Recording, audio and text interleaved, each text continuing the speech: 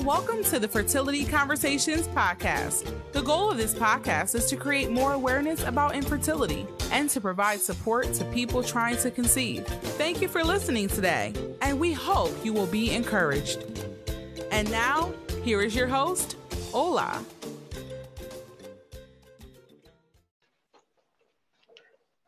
Welcome to another episode of Fertility Conversations. Today we are joined by Dr. Ogunkinle of uh, Origene Fertility. Origene Fertility is one of the leading IVF clinics in Nigeria. Dr. Ogunkinle joins us today to speak about fertility preservation, and he will also be joining us in the future to speak about uh, other parts of fertility and infertility, just to ensure that we are aware and educated about all that we need to know. So, welcome, Doctor, and thank you so much for joining us today. Yeah, thank you for having me on your program. Yay, thanks. Uh, so to start off, we usually say, tell us a little bit about yourself. Oh, okay. So like you rightly said, I'm Dr. Babatunde Ogun, Ogunkinle, a consultant gynecologist, fertility specialist, and medical director at Origene Fertility. At Origene Fertility, we partner with couples to fulfill their dreams of becoming parents. We offer varieties of assisted reproductive technique, which includes intrauterine insemination, in vitro fertilization. We offer donor gamete treatment, donor egg, donor sperm, embryo adoption. We also offer service pre-implantation genetic testing for mm. aneuploidy or monogenic disorder. And we also offer cryopreservation services with freeze eggs, sperm, and embryos for future use. Origene Fertility is at Ikoyi in Lagos, Nigeria. Perfect. Thank you so much for sharing that. Uh, and I know that, again, we're speaking about the first part of our fertility preservation uh, session today. Um, and you're going to be educating us about the impact that age can have on our fertility. So, for anyone listening, does age impact fertility for women only or both men and women? Well, I would say maybe age at some point in our life may become an adversary of both mm. men and women in the context of fertility. However, its effect is more pronounced on women compared with men. Effect of age shows earlier among women, and the is also more pronounced. Most women, the decline starts at the age of 35 years, while in men is between 40 and 45, and the decline is steeper in women. In women, the effect of age is um, can be broadly classified into ovarian-related effect, which impacts on the egg quantity and quality, and also non-ovarian effect of the age on fertility of women. You know, women, a woman acquires all her eggs while in pregnancy. And this peaks between 18 and 22 weeks of pregnancy. So basically when, when they're in the womb? Yes, when they're in the womb. At that time, a woman will have about 6 million follicles. Now, follicles are fluid filled structures in the ovary containing immature eggs. So indirectly, the number of follicles also uh, give us the number of eggs. By the time the woman is born, these follicles would have gone down to 1.2 million, about 1.2 million. So by the time a woman starts menstruating, they are between 250,000 and 450,000 follicles. Just as the quantity reduce, reduces, so is the quality. Uh-huh. And all this together, they affect fertility of women. At some point in a in woman's life, ovulation becomes infrequent. Then the quality of eggs that are being produced are also not of uh, the top quality. And these are as a result of the chromosomal uh, abnormality. Most of the eggs may have uh, abnormal chromosome uh, constitution. Wow. What about the men? No, we're, we're still on the women. Oh, yeah? Okay. we're, still, we're still on the women. Because of reduced quantity and also quality, uh, ovulation is infrequent, fertilization becomes difficult, implantation may be challenged, then the risk of miscarriage is also high. Now, when you're talking about, then, you know, we're talking about live birth, healthy mother, healthy baby. Now, at some, imagine the effect of chromosomal anomaly when, as related to the age of the woman. The incident, the Down syndrome is the commonest one among uh, live born. Now, the incidence of Down syndrome is about one in 1300 at the age of 20.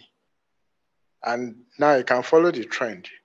About one in 950 when the woman is 30, one in 85 at 40. So compare just a matter of 10 years, 950 to 85, and one in 35 at age of 45.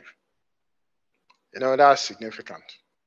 Yeah. Now we are not talking about non-ovarian causes. You know, with uh, advancing age, the incidence of uh, conditions like fibroid, endometriosis, either directly or indirectly through their treatment, also contributes to fertility. And there are some medical conditions like type 2 diabetes and thyroid uh, disorders that may increase the risk of miscarriage among women. So, but in men, now going, talking about men, men also have their age impacting on their fertility. But this, like I said earlier, this usually starts between 40 and 45 years. In men, what has been found is that the quality of sperm declines as well. Quality in terms of the sperm concentration, motility, and morphology of the sperm. And all these contribute together to affect the capacity to fertilize the woman's egg. And in men with advanced age, the incidence of erectile dysfunction also it grows in tandem with as he as the man grows older.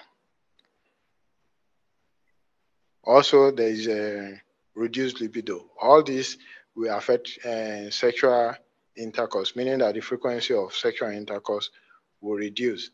And if there is no sex, this can hardly be baby.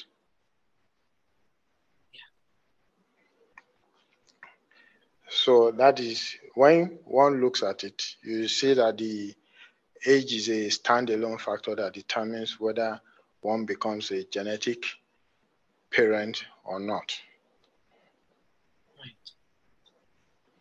And nowadays, of course, people are spending more time studying focusing on their careers. Things are a little different from when our parents were perhaps getting married in 18 or 20.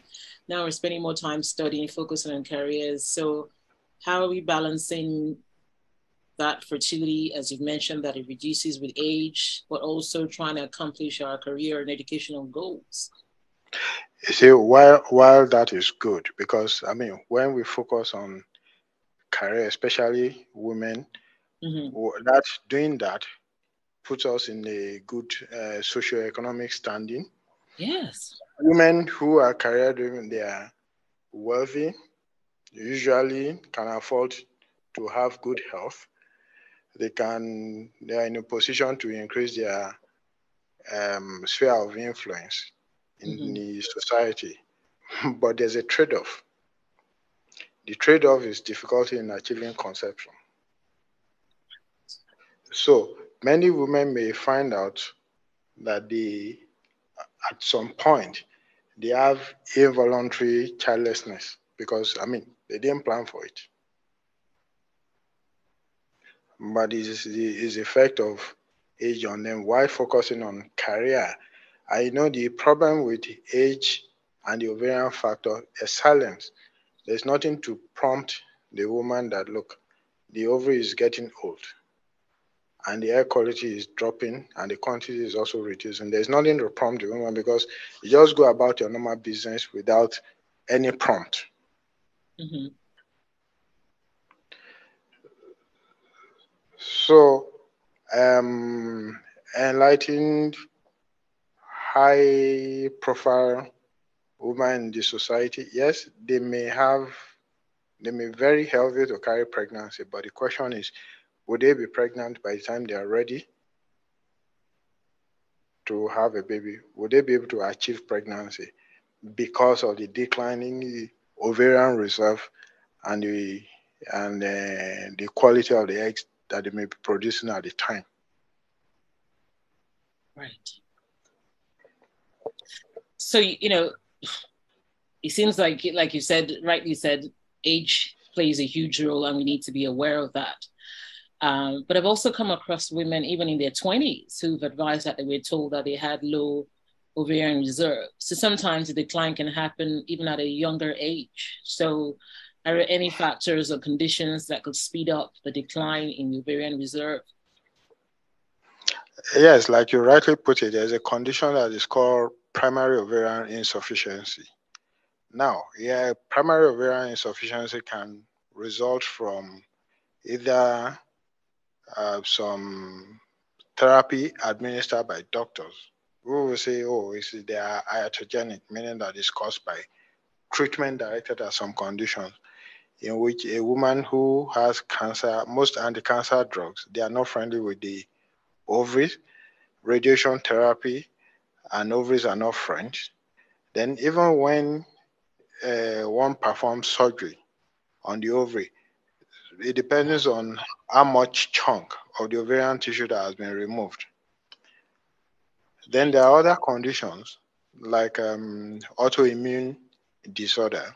For some reason, the woman starts producing um, immune response against her ovary, so producing chemicals that will attack that will attack her ovaries, the normal cells in the ovarian tissue, thereby destroying the normal so that can lead to premature ovarian insufficiency. And by the time you do the normal testing, say, oh, you have low ovarian reserve. And there are some viral uh, viruses like mumps virus and chickenpox. They can also affect the ovaries. Uh, but in many cases of this primary ovarian insufficiency, mm-hmm. we don't know the cause.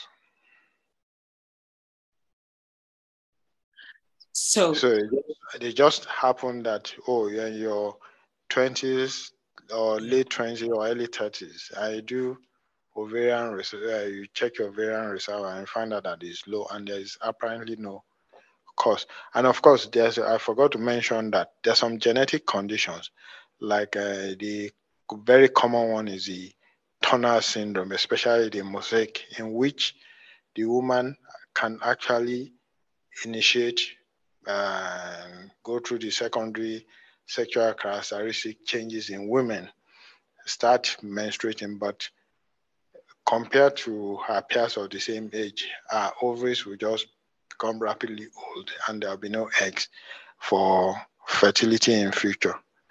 And there's another condition that is called um, the fragile X syndrome, in which the the one of the X chromosome is producing is not producing some particular substance that is responsible for the stability of that chromosome, and that can also lead to a rapid decline in ovarian reserve.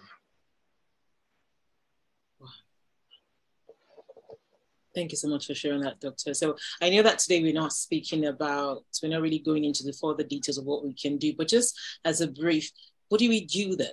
You know, we, we're studying more, we're spending more time building a career, we're trying to be independent women and successful, like you mentioned earlier. Are men also are studying longer? So, uh, just briefly for people listening, just uh, to put it into context as part of this conversation before we wrap it up, what can we do? Are there any solutions, or do we just all have to get married when we're younger? No, there are solutions now because the solution, um, the particular solution in which you can preserve your um, egg or your sperm for future use has been in existence for some time, but it was only applied to people who are undergoing therapy, medical conditions like uh, treating cancer, either in a man or a woman. At that point, they can preserve, they can preserve their eggs or sperm. But with recognition of um, age, how age impact on fertility now, people now plan to freeze their eggs. Right. So one is possible, and you know, before eh, when we talk about we, that one is called uh, either planned ovarian, planned ovarian um, preservation or social egg freezing. Mm-hmm. In the mm-hmm. past, when you mention social egg freezing, nobody is thinking of uh, career women's right. The it's almost like a stigma that oh, okay, it's because she doesn't have a partner. That's why she's freezing her eggs. But people can choose with the reproductive right now. They can choose when, how, and when not to have a child. So this with um, improvement in technology in terms of freezing and the recovery of eggs. So it's possible to freeze eggs for future fertility. Okay, that's great. And this is also the same for sperm. It's the same for sperm. The same for sperm. Okay, that's good to know. At least, so at least there is there's something. There's an option. Um, nah. Even if you're in a stable relationship and you are not interested in getting pregnant just yet, mm-hmm. you can freeze your embryo, meaning that I mean, egg that has been fertilized by uh, with the sperm and watch to grow for some days before freezing. Okay, so that's good to know, and I would really be looking forward to us having that conversation subsequent to this one today, to focus a lot more on the fertility preservation, so that way we know what to do and how to approach it and where to go, uh, if you're thinking about that. And uh, just to confirm for fertility preservation, people in Nigeria, and what about people from abroad? Can they also come to your clinic to freeze their sperm or eggs? Yes, they can. Okay. No, no, we accept everybody once you meet the once you meet the condition for freezing, because the idea is also to guide you and uh, so that you'll be able to make an informed uh, choice. Mm-hmm. Okay. Sounds great. And uh, just before we wrap up, uh, I mean, this has really been really informative because I think it's just important that people are actually educated and aware about this because, again, we go about thinking that uh, our fertility is always going to be perfect we talk about uh, mothers that had children. You know, people will always say, "I had my mom had a child, or my auntie had a child at 40 or 45 or even 50." You know, so I think we, so I think we go around thinking that. Uh, yeah, that that fertility, that our capacity to uh, to be able to produce to reproduce is uh, yeah forever. That is timeless. perpetual. Yeah. it's timeless, though. Yeah. So no. it's it's it's important that we know that, and our the younger generation are also aware. Yeah, it's almost. I mean, with with advancing age, it's almost certain that one will become infertile. Wow. Good to know. And I'm sure people listening are also very happy to be able to at least be aware of that information. That way they can make informed decisions. Yeah. So, for anyone listening and wanting to contact you, what's the best way to reach you at uh, Origene Fertility? No, we have a website and we have, um, yeah, on the website, all the contact details.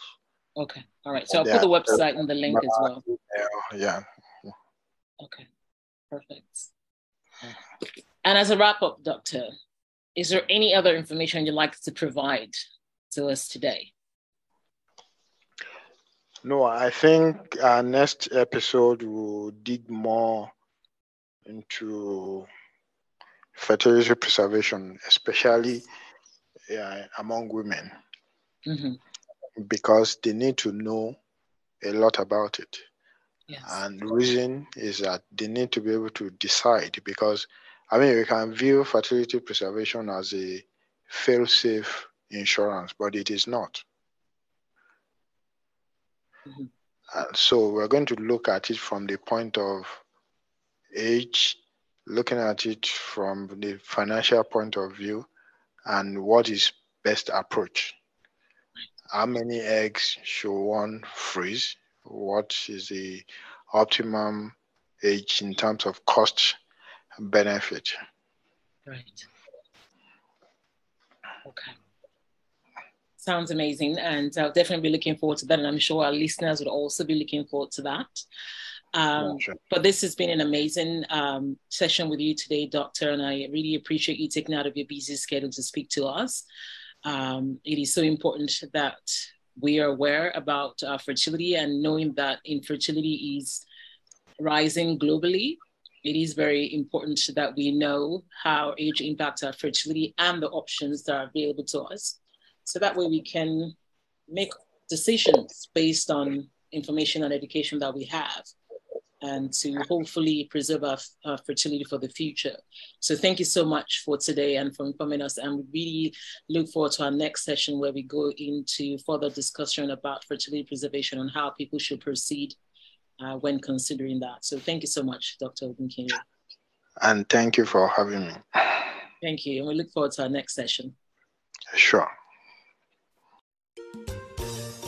Thanks for joining us this week on the Fertility Conversations podcast. If you enjoyed this podcast, please give us a five star rating and subscribe. Follow us on Instagram at Fertility Conversations. If there are any topics you would like to have discussed, please send an email to fertilityconversations at gmail.com. Be sure to tune in next week for our next episode. Thank you again for listening. Take care of yourself and do stay hopeful.